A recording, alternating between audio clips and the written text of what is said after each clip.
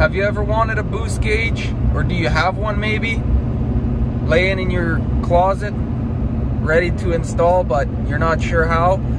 Today I'll show you the best way and the easiest way to install a boost gauge in a 2001 to a 2004 LB7 Duramax. I'll start here under the hood. So the simplest way to do this is just to take this little hose here that connects to the wastegate for the turbo. Take that hose and somewhere in between it, install a little fitting and then you've got your pressure line for the boost gauge. Put it through the firewall. Also, if you want a little more boost than you should probably have, just put a bolt in this end of this hose like I did. It still reads accurate. Everything's fine there.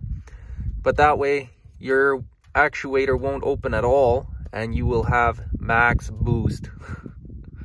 now inside the cab, I've mounted my boost gauge underneath the dash here which is a phenomenal spot if you don't want to see it. There you've got your pressure line coming through the firewall.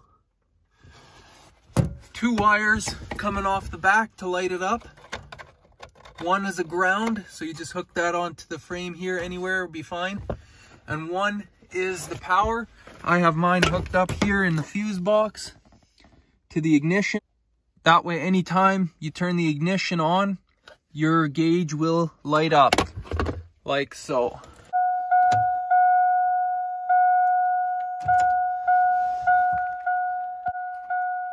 A better idea might even to hook it up to the fuse for your lights, your headlights.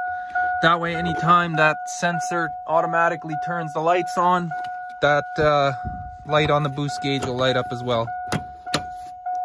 I'll show you how responsive the gauge is hooked up to that spot. Like it moves up and down fast, no problems.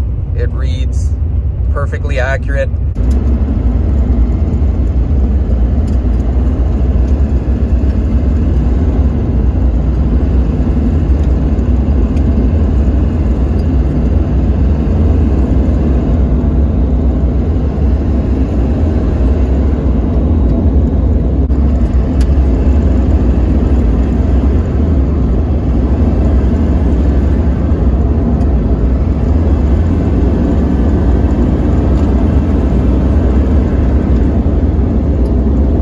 Might as well show you here how much boost a stock LB7 will push with that uh, actuator hose taken right off of the actuator. So this is just max boost that it can do stock.